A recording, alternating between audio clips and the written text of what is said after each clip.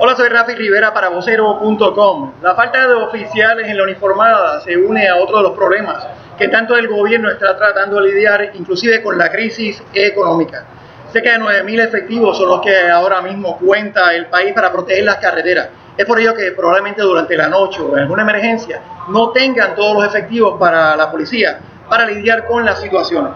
Vamos a estar trabajando esto y muchas informaciones más en vocero.com y en la edición del periódico El Vocero de Puerto Rico. La verdad no tiene precio.